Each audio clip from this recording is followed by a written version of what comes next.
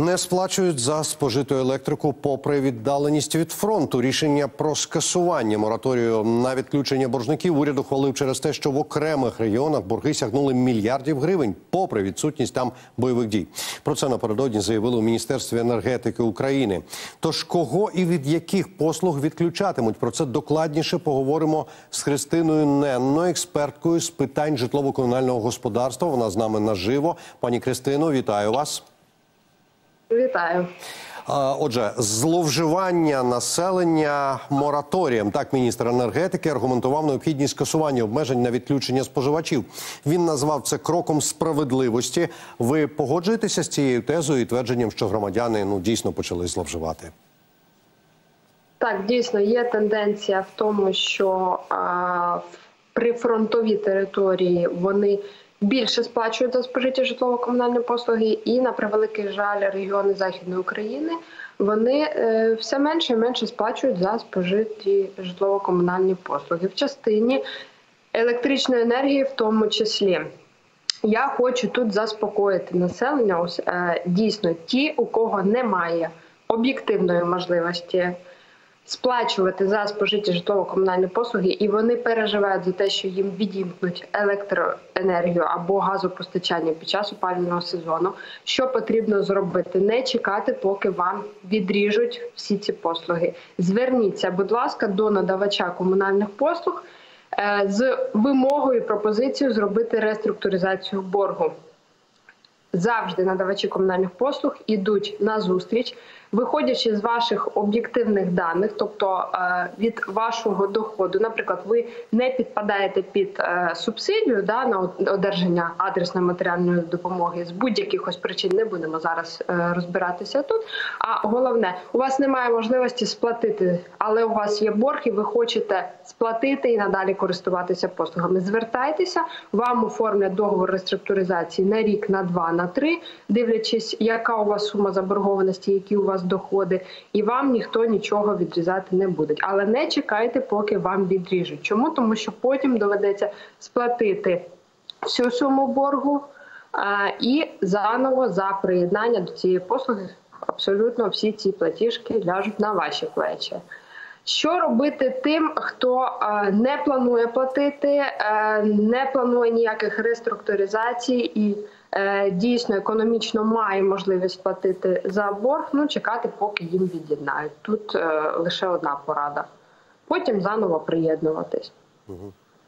Пані Кристино, це ми зараз говоримо про домогосподарства. А як щодо великих підприємств, наскільки значна частка заборгованості належить їм?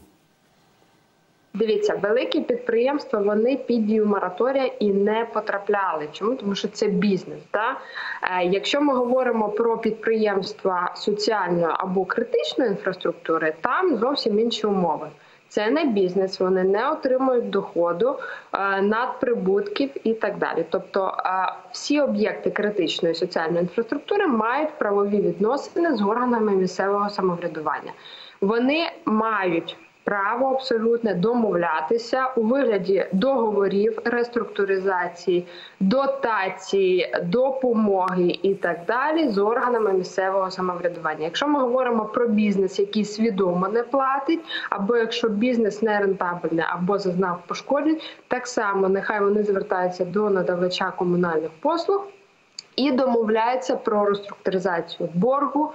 Якщо в них були часткові пошкодження чи руйнування внаслідок прильотів чи якихось інших активних бойових дій, е, так само вони мають надати всі відповідні документи: це е, довідку з поліції, акти обстеження і так далі. Тобто аргументувати, чому вони не мають права сплачувати, або чому економічно вони не можуть це зробити. Якщо це бізнес, який е, працює в мінус, і це просто е, бізнесмен середньої ланки, який сподівається на те, що у нього потім бізнес піде краще. Ну тоді можливо варто звернутися за державною програмою, отримати е, кредит на розвиток бізнесу.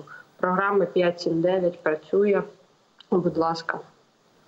Е, Скажіть, будь ласка, як щодо вартості самих послуг? Адже в низці населених пунктів зараз активно переглядаються тарифи, і подекуди їх збільшують одразу понад двічі. А чи мають право це робити під час воєнного стану? Ну і як громадськості контролювати це питання? Дивіться, на території України на сьогоднішній день діє мораторій на підвищення послуг з надання централізованого опалення, гарячого водопостачання. Це послуги, які тарифи є фіксованими до кінця воєнного стану і газопостачання сюди так само відноситься.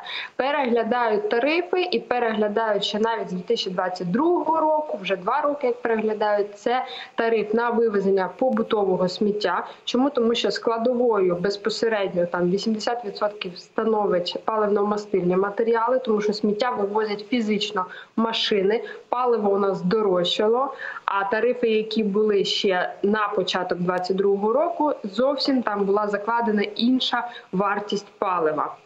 Переглядають тарифи з утримання будинків і прибудинкових територій, оскільки у нас збільшилась мінімальна заробітна плата, і прибиральники, і двірники так само мають отримувати вищу заробітну плату. Тобто тут є економічне обґрунтування, воно не пов'язано з відміною мораторію. Це процеси, які відбувалися щорічно. Просто на них ніхто не звертав увагу.